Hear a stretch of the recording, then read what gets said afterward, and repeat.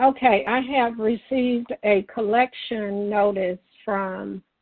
I went to the doctor like in February while I'm still in. No, I wasn't. I was out of bankruptcy the next year, so it was with Baylor Scott and White. I made payments, but I didn't make them to the hospital every month. So I guess once they had a time where I didn't do a payment in 30 days because the work I do is sporadic. So they have sent me a collection notice, and my question is, do I answer that or do you all answer that? Is who, who does that? Yeah, so we, we don't answer collection calls. We're you know we're more of an education company, right? Okay, So I just wanted just- to be yeah. sure. Oh yeah, no no problem at all. But let's unpack this for a second. So this was a collection after your bankruptcy, right? Yes.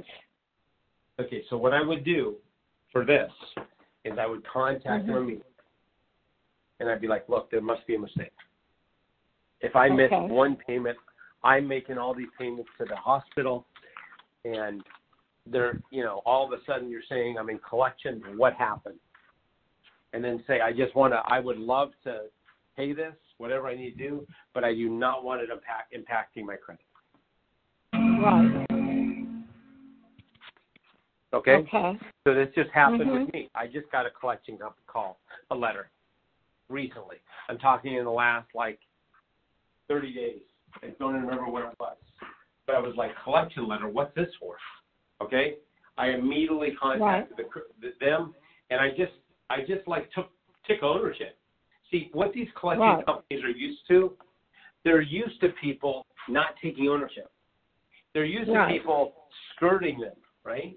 So if you call them Mhm. and you own it, and you say, "What is this about? I pay all my bills. I was paying the hospital. How is this in collections?" But Right. they're gonna they're gonna realize you're not scamming them or anything like that. For me in particular, and trying to remember what it was, it was something. I forget now exactly what it was, but bottom line is, it, because I contacted them immediately, they didn't report to the bureaus. Two, it was already it, it, it was it was an oversight. I had paid somewhere else, and they didn't Mhm. show my payment.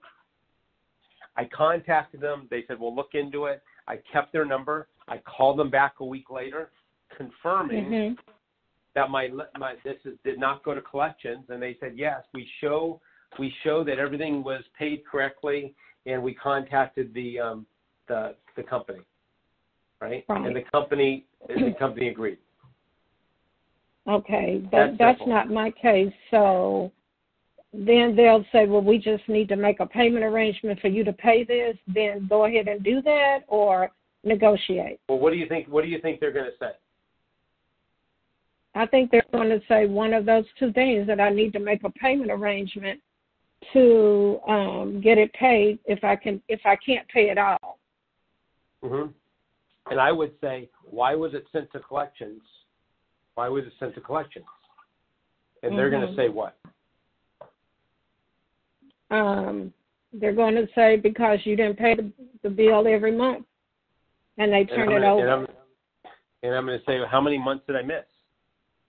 Okay. And you're going to say what? Or they're going to say what? uh, you missed, it had to have been one or two months or one month or whatever.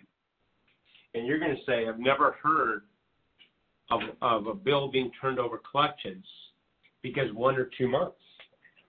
Like, Right. That's crazy. Okay. So, hey, my credit, Mhm. and you're going to say, my credit's really important to me. Was this Mhm. reported to the bureaus? Has this been reported to the credit com- collection company, the credit bureaus?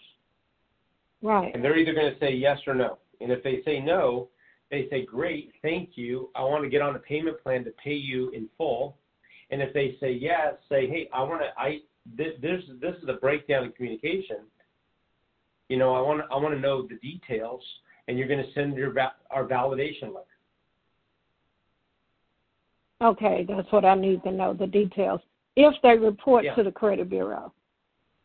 Yeah, if they did, and if they did, send the validation letter. And once again, if Okay. Well, If it hasn't did. been. I, mhm.